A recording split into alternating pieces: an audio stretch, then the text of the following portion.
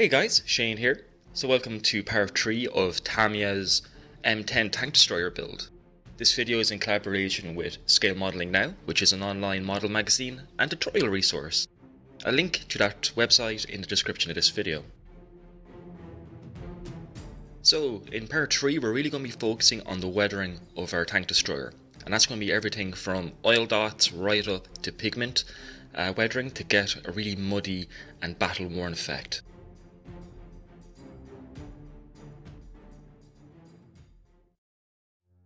So we're going to begin with some dot filters. So we're going to be using three artist oils for this. Titanium white, yellow ochre, and sap green.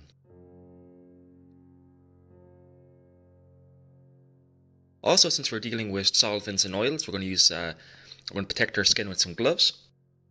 I'm also going to use, use a scrap piece of cardboard as our palette two soft wide bristle brushes for applying our artist oils and for blending our oil dot filter. Also to apply apply said oil dots, I'm going to use a, a toothpick or a cocktail stick as a, an applicator. And then we need some solvent to uh, work with our oils. In this case, we're using Artist Spirits. I would recommend buying a big liter can rather than a small like like 350 mil job that's far cheaper to buy in bulk than in the small cans. Just a money saving tip there. So to prepare our oils i'm going to start agitating the tubes just to mix the pigment and oils together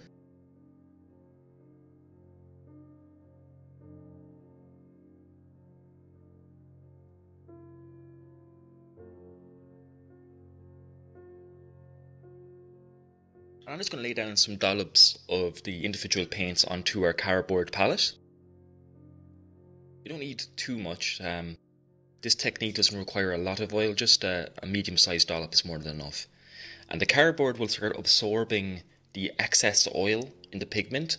So, what we'll normally do is we'll leave these paints on the cardboard for about three or four hours, if not a bit longer, and it'll start to absorb the excess oil before we use it.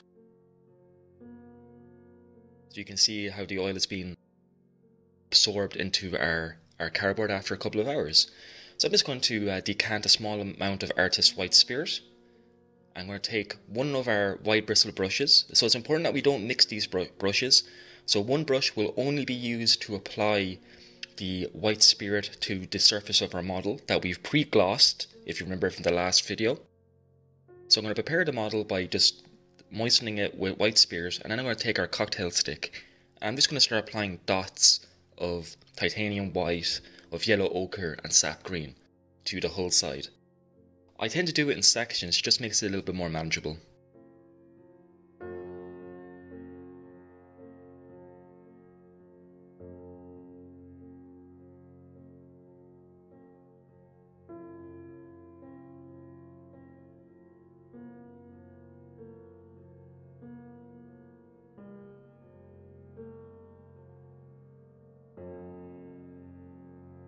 So we're going to take our second wild bristle brush, moisten it in white spirit, and I'm just going to start pulling in one direction to create these streaks. Now they look very stark at the moment, so don't panic.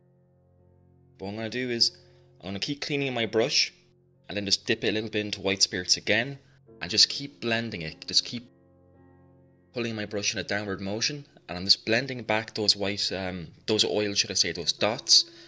And we should be given with a very light residue. And this is simulating rain streaks, um, sun bleaching, and other like atmospheric weathering. And you can see it's really after like blending everything down, it's also blend all the chips together. And you can just keep adding more and more white spirit to it and blending it until it is as subtle as you want it. And again, I'm just going to do it section by section using the exact same method, being careful not to mix up my brushes. So one brush is for applying the white spirit and another brush is for blending the oil dots together. And it's very important that we don't mix those together.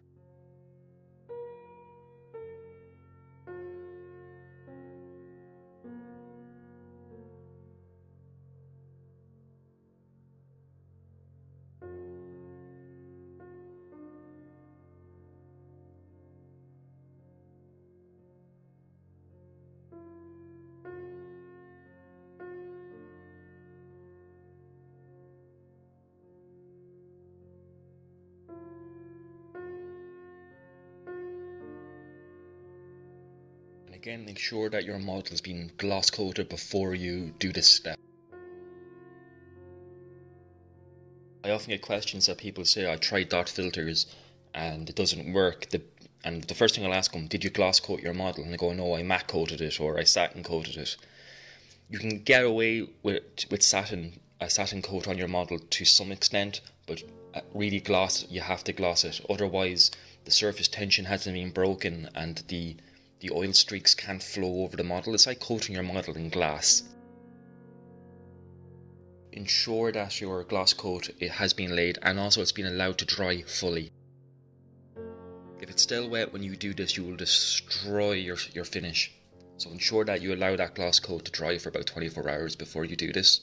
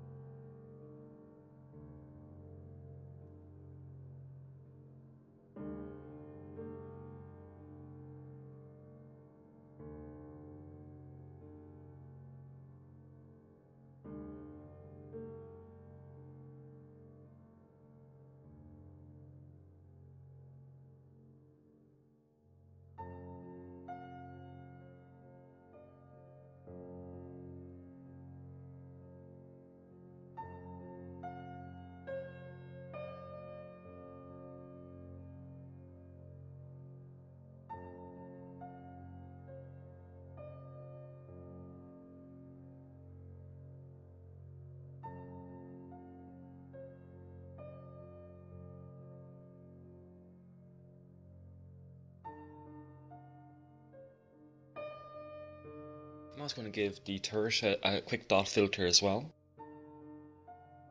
And you can really apply these dot filters on either the horizontal or vertical surfaces. Some modelers will say you can only really put these on the vertical surfaces of a model. Reality, you can put them anywhere. Ultimately, what you're just trying to do is you're trying to add visual interest to the paint you or the colour you or saturation of your model. Just try to break up that monotone effect as well as tone everything together. So I will put it on the places that sometimes traditional modelers might not put it, like putting a dot filter on a horizontal surface. Both are equally valid. They do give you very nice effects either way, regardless where you put them. Just make sure that you blend them down and try not to make them too stark. Again, when it comes to oils, subtlety is your best friend. So just take a little bit of time and blend it down. Oils are very forgiving, they, they take a long time to dry, and you can keep reanimating them and reactivating them with uh, applications of white spirit. So I'm also doing a little bit of um, a filter here as well by just taking a small amount of oil paint directly onto my brush and I'm actually just painting it on to some of the horizontal surfaces. I did that on the third just to experiment and that's another technique you can do but again make sure you blend it, make sure there's no brush strokes or anything like that. It's very easy to do that type of effect where you paint on a small amount of oil onto your model, uh, let it dry, and come back and look at it because sometimes you will get uh, brush marks that you might miss at first. So now I'm going to start working on making up um, an oil wash. So I'm taking some 502 Abteilung Shadow Brown Wash. I'm just taking a tea light holder here just used as a palette. And I've applied quite a bit of white spirit, artist white spirit into the mix to get this type of consistency. And we're going to do this, we're going to use this colour for doing panel lines and pin washes. So I've already gloss coated this model yet again. So it's very important that you gloss coat in between layers. Um, I don't want to run the risk of accidentally reactivating the pin dot filter we've done underneath this.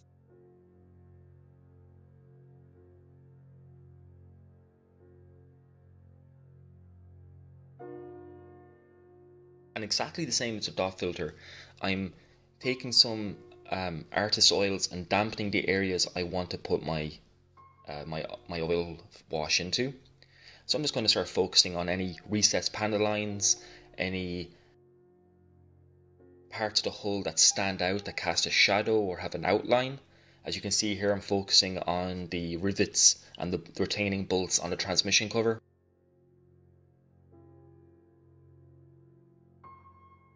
I don't. My mixture doesn't have enough white spirit. That's why it's not flowing. So if it's not flowing, just add more white spirit to your mixture. But even if it's messy like this, we're going to come back later, and uh, once this is dry, and with a clean brush, we're going to wipe away the excess with some white spirit. That's the beauty of oils. It allows you to do this. You can be messy, and then later on, you can come back and clean it up with uh, a brush, a clean brush with white spirits. It's it's that versatile.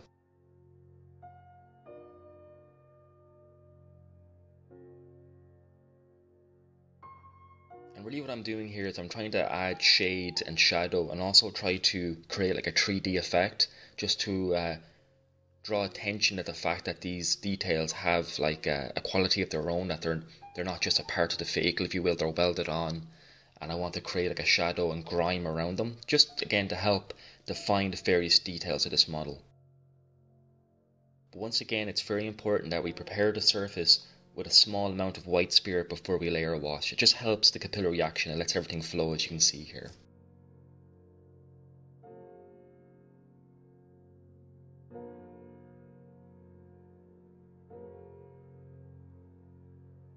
Again, touching into these well lines, the retaining um, bolts for the tow cables as well as the turret ring. Any, any place where there's like raised or, or sunken detail, or anytime there's like a boundary line, um, all I'm really doing is I'm using this wash to frame the various details and qualities of this model.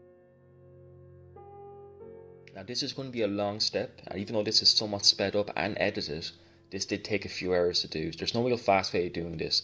If you want to do it right, you have to just invest a little bit of time, maybe an afternoon, and just work on it. Again, we're working with white spirits as a solvent base, so make sure you have a well ventilated room um, as these fumes are not good for you, so best get a safety warning out of the way.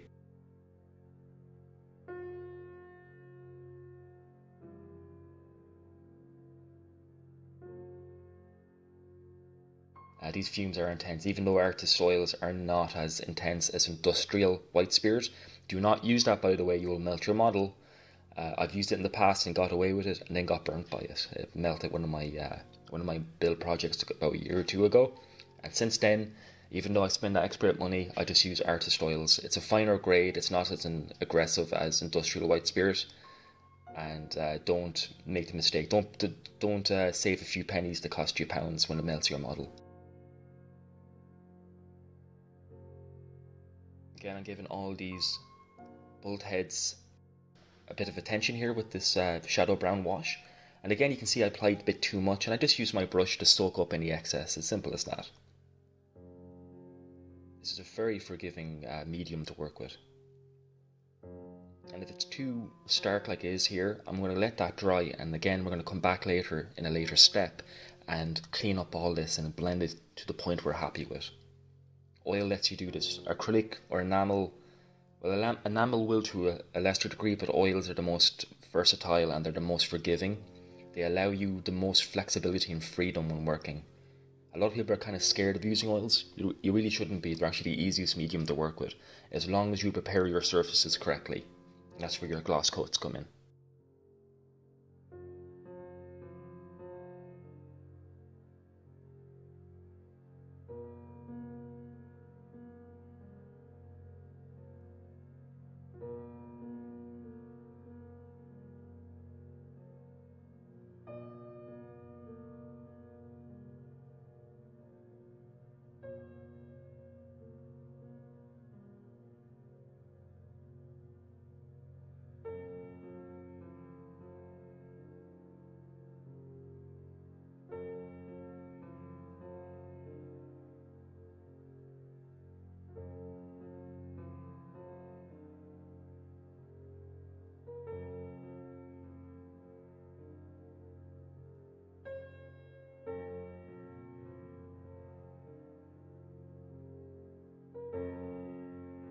I'm also going to touch in some of this oil wash into the um, the track cleats here. Again, just add a bit of definition and shadow to them. It's just a way of making various details pop and blend them and make them a bit more interesting.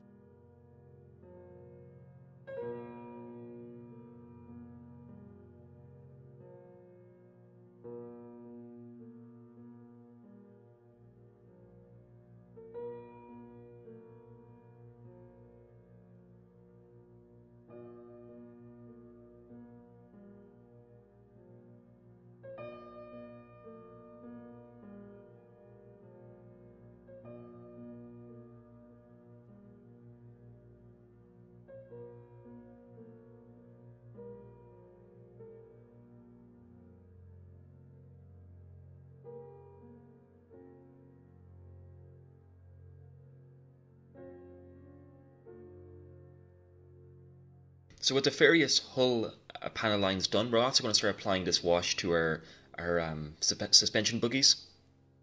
And I'm actually just going to apply this wash kind of heavily into any of like the recessed or sunken details. This is just going to represent grime, grease and oil from the uh, suspension bogies. These are going to get very heavily weathered later on, so I'm not going to be too uh, too careful with this.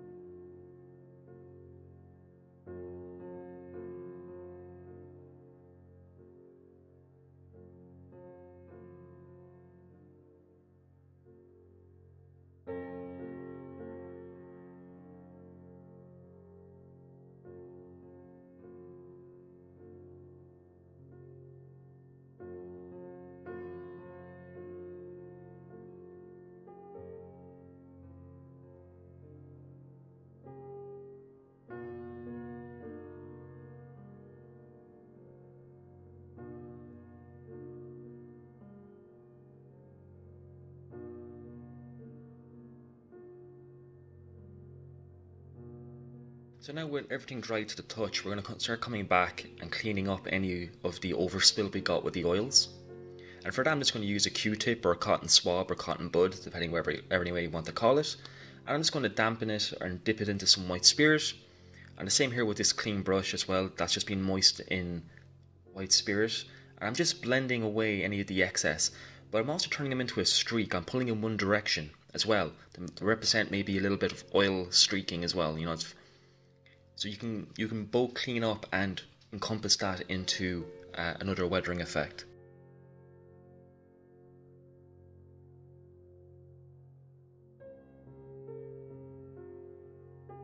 And you can see it just immediately just evaporates once it comes into contact with um, the white spirit once again. And again, I'm just going to turn that into a bit of a streak and just clean that up a little bit.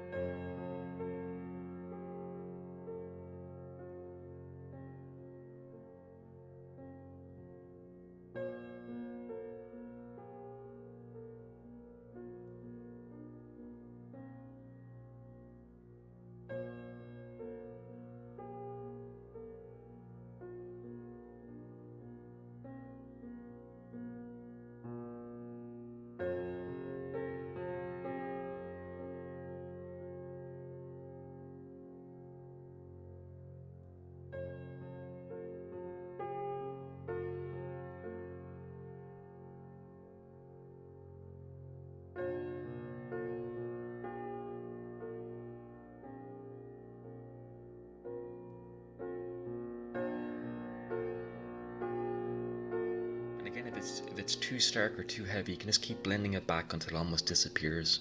It's really up to you how stark you want things. So with our oils out of the way, let's start painting in some of our stowage that we put on. I'm not going to spend too much time on this, we're going to fairly fire through this. So for this large roll or tarp here, I'm just going to use some English uniform. This is from Vallejo Model Color, and I just tin this down with a bit of water try to keep these colours somewhat drabs and earthly colours. I don't want them to be too bright and compete or clash too much with the tank. Yes, you, you can use like captured civilian tarps or civilian clothing that often like these tanks might have to, to add splashes of colour, but be a bit careful with it and think about it before you do it. Uh, we don't want to create a nice story either.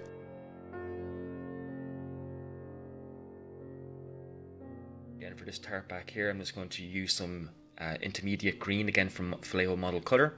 Just tin down once more with a little bit of water. Just quick firing this in. Again, being careful not to get any any uh, overspill onto areas we don't want. Again, we can wipe it away if it comes down to it. Still, no point creating work for yourself. Just a little bit of patience and brush control will just make life a lot more easy and smoother for you.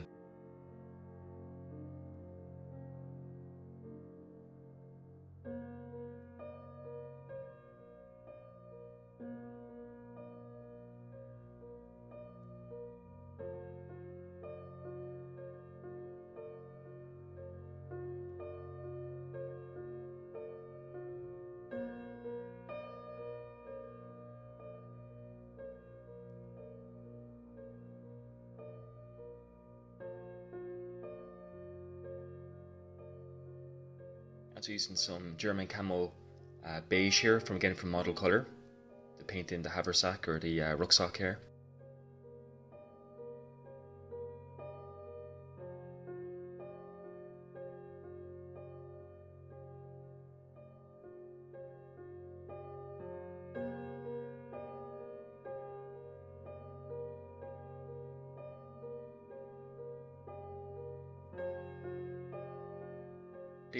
Recognition panel is a mixture of, I believe it's Mephiston Red and Scarlet.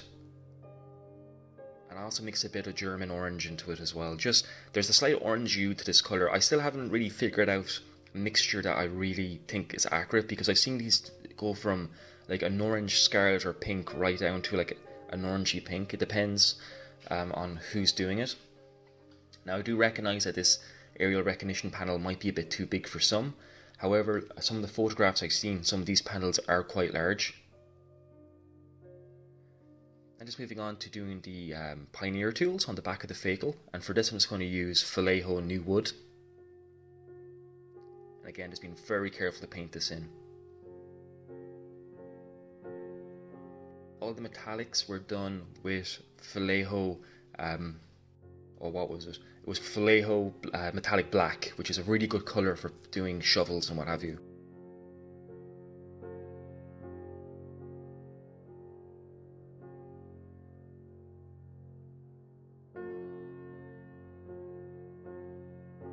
You'll also notice um, that I've actually put a wash over our our tarps and our bags, and that's just a bit of Agrax Earthshade. I just uh, give it a quick coat something I kind of forgot about. I forgot to film that part, but literally just a wash as I do normally with any of my other tutorials.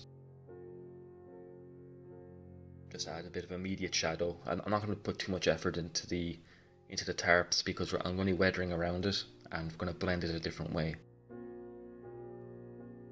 And just cleaning away any excess I get there if I get a bit of overspill.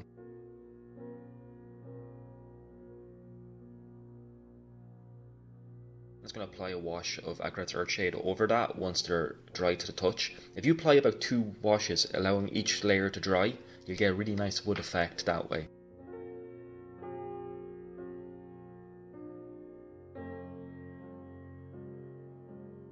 Then to add a bit of a highlight as well as blend them and weather them at the same time, I'm just going to take some Tamiya model Master Set A and some of their light dust and just use the sponge applicator and just just quickly like dry brushed it almost with it.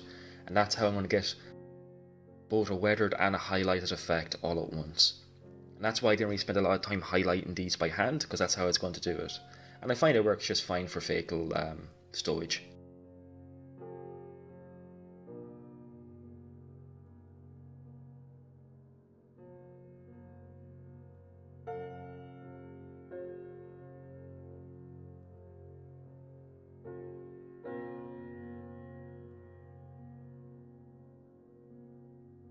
So with our stowage out of the way, I'm going to take some Vallejo uh, Light Rust, which is a paint.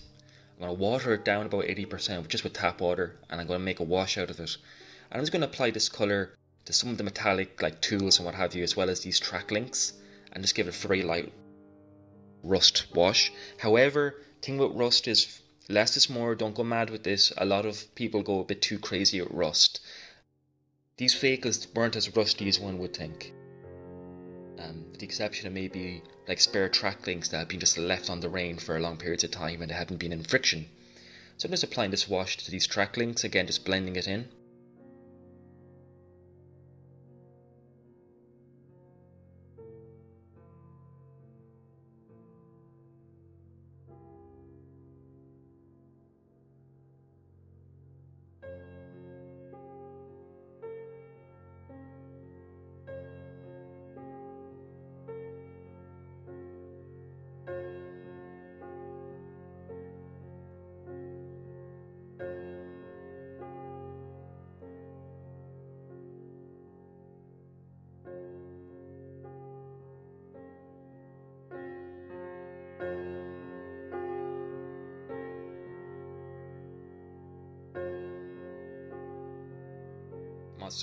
Bit of rust into the deflector.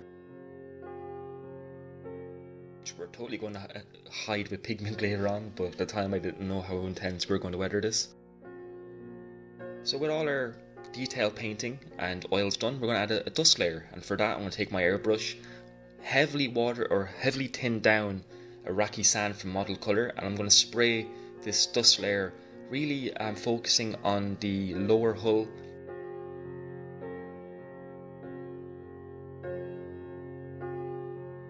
Can use Tamiya buff for this too. Um, I quite like using uh, Iraqi sand because it's a real light sand, a kind of sand dust color. And I have thinned this quite heavily with uh, airbrush thinner. Any place I feel it, it spatters or um, it's a little bit too light, I just will, literally run or roll a cotton swab or cotton bud over it and it'll actually give me a very nice dusty effect. So don't panic if it goes wrong, just use a, a cotton bud and literally just roll the q-tip over it and you're fine.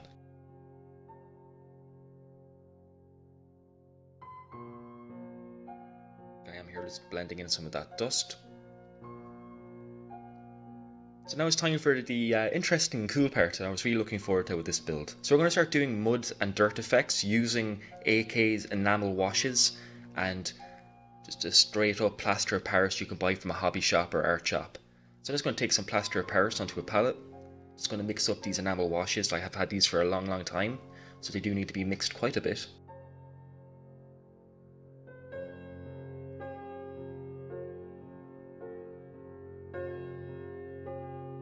I'm just going to pour a small amount onto our plaster mixture and mix it up. I'm looking really for like a porridge like consistency. That's the best way to, to describe it. I don't quite want it to be a paste.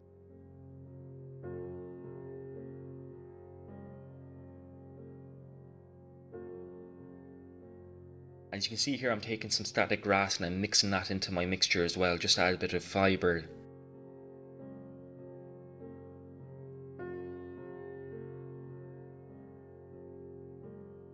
I'm going to take an old brush which is kind of um, frayed and I'm going to basically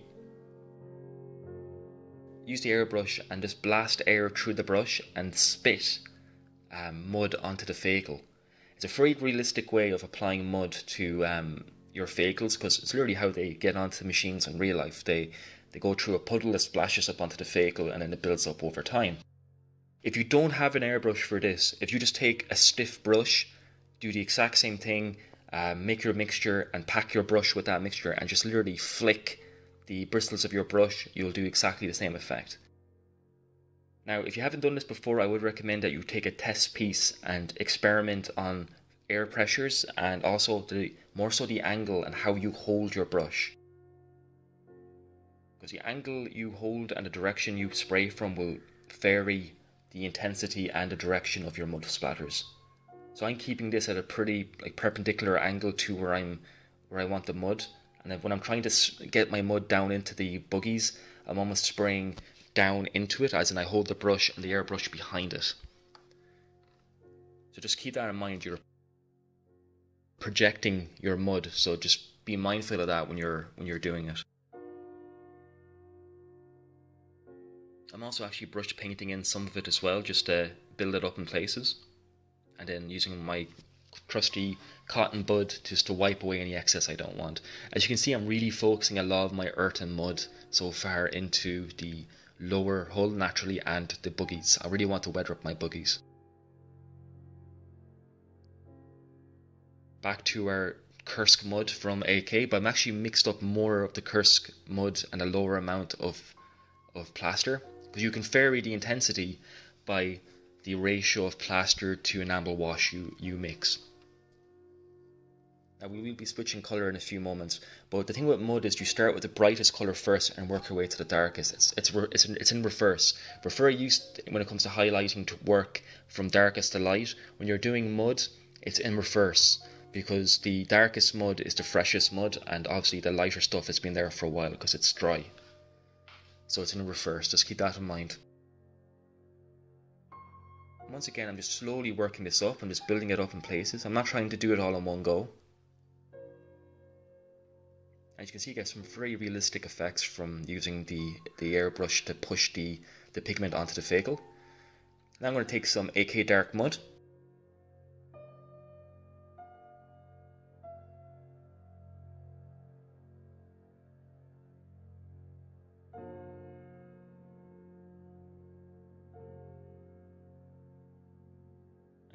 mix up exactly the same. I'm going to even be more disciplined with this color. I'm going to refocus it down to the lower elements of our suspension and our lower hull here.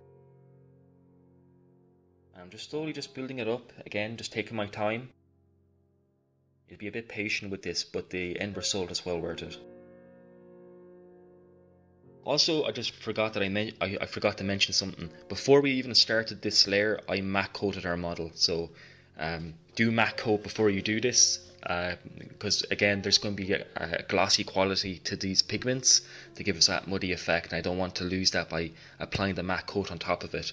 So that's something I forgot to mention. I'm sorry, guys, if uh, for not mentioning that earlier, but hopefully uh, you caught it before it was too late. And if you do accidentally matte coat over it, you can always come back with some gloss varnish or some wet effects like we do later on to uh, create that wet mud effect. So not to worry, there is ways around everything. So you can see that the muddy effect is really taking hold now, and I'm just slowly working it up, and I'm focusing the wetter color or the wetter, the darker color onto the lower elements of the hull and projecting it up again, I'm not being too precious about it. You know, this this vehicle uh, is after maybe moving through a, a, muddy forest lane, it's going to get dirty. Again, I know this type of extreme weathering is not for everyone, and that's fair enough. But still, um, it's probably the most realistic way of doing it if that's uh, the type of weather technique you like or the weathering look you like.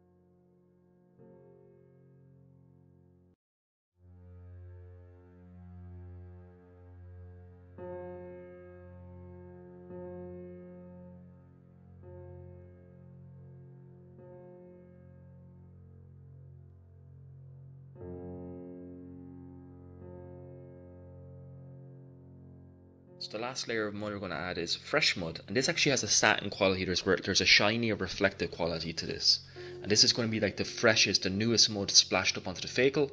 Again, I'm going to mix some plaster of Paris into it and a small amount of static grass to give it a bit of texture. And I'm really actually going to really br- brush apply this. I've made this texture much thicker. It's almost like a paste. And I've mixed quite a bit of static grass and what have you into it. And I'm really just going to stipple it into the lowest recesses of the hull.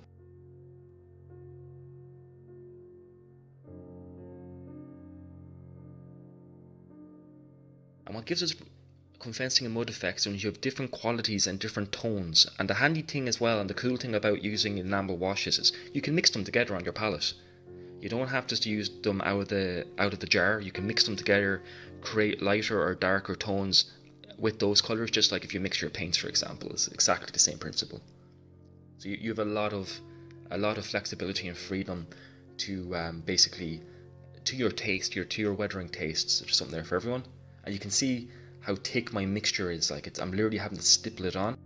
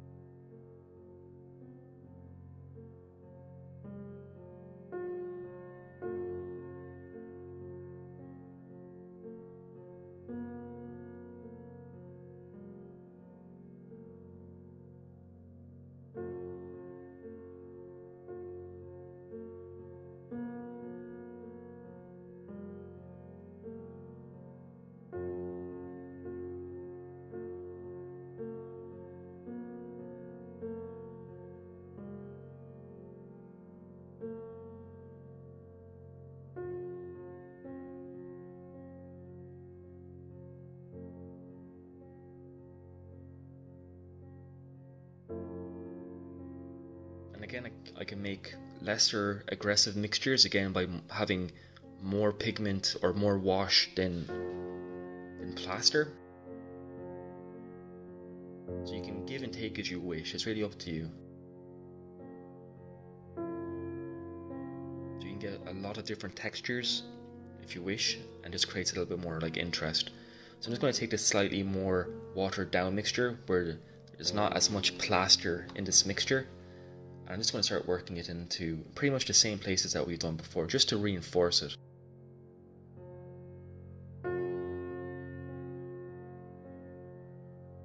And I'm just kind of thinking to myself, where would mud gather? Like, where would mud get caught? Especially up around the skids for the at the top of the bogies. A lot of mud will collect on the top of bogies.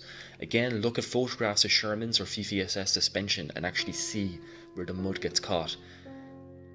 You'll also notice I keep wiping away any of the mud mixture I get onto the tire rubbers or the, the, the tires of the wheels because they're going to get rubbed clean by the, the friction the tracks tra- traveling over them.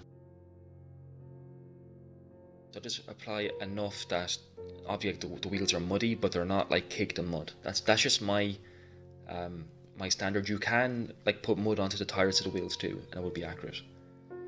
And since I have these mixtures made up, I'm, I'm going to stipple them on quite heavily onto our onto our tracks here. And again, you can even see that I, I can sprinkle static grass onto our mixture and then stipple it and lock it in place.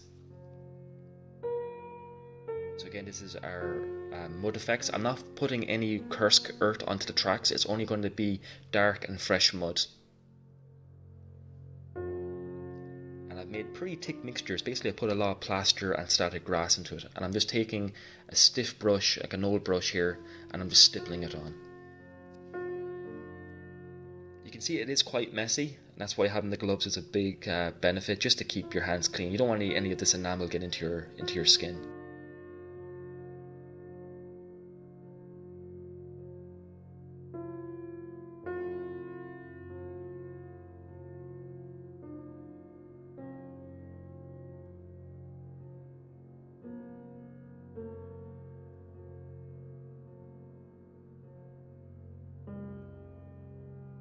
Taken some of our fresh mud.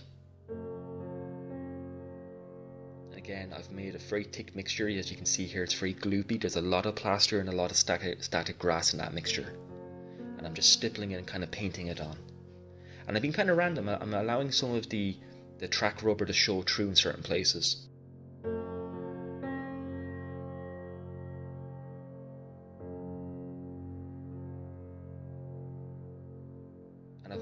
More or less lightly painted in the inner track.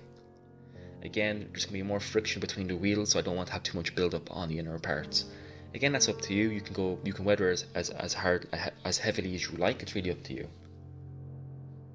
I tend not to weather the inner tracks too intensely, because in my logic, it's just that they get rubbed clean.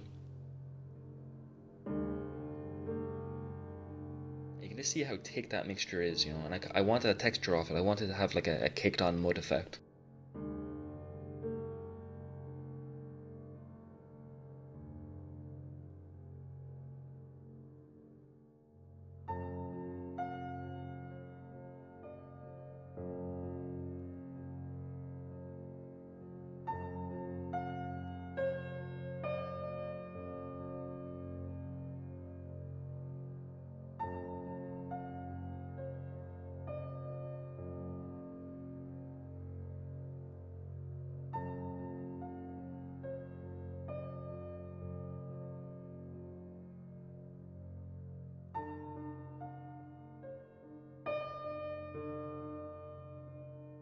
Mud layers allowed to dry, I really want to re-establish that wet wet mud effect and for that I'm going to use AK wet effect uh, fluid which is basically um, a gloss. It's a, a gloss fluid. So if you don't have this you can just use a, a gloss varnish and paint it on. But as you can see here I'm, I'm really just applying the wet effects to the, the fresh or dark or sorry should I say fresh mud no the, the darkest mud color we have because that's the freshest mud. I'm putting it down pretty heavy but you can see here it's really giving that really muddy and very just like nasty mud effect, and that's exactly what we wanted.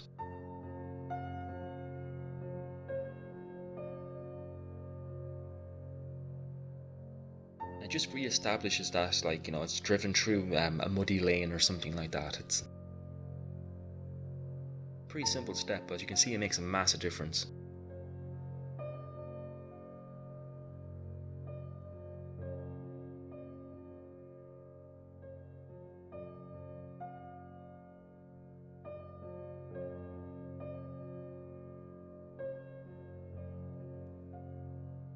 Again, I'm just focusing into the lower elements of the hull. Basically, any areas I feel like would actually get wet, if you will. You know, just just think about what you're doing.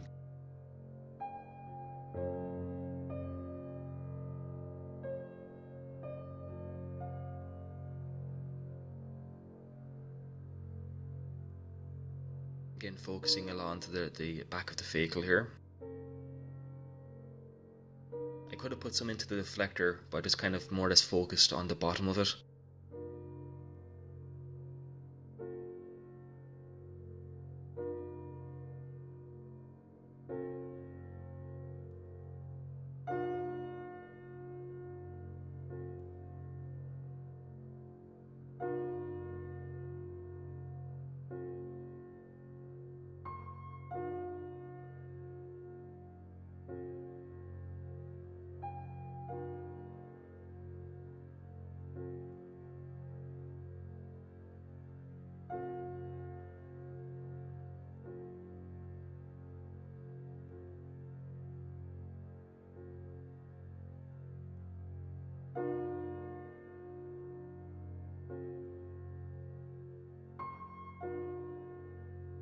So once this has been allowed to dry, our vehicle is complete once you attach your tracks. So I really hope you found this really interesting and give you some ideas on how to do mud effects of your own. Uh, I want to say a big thank you to Scale Modelling Now for allowing me the opportunity to build this model and uh, experiment with various different te techniques. So do join me next time when we'll be doing other builds in the future and more Allied Armour and Sherman Armour builds. I've been Shane, thank you so much for watching and I'll catch you in the next video. Bye bye.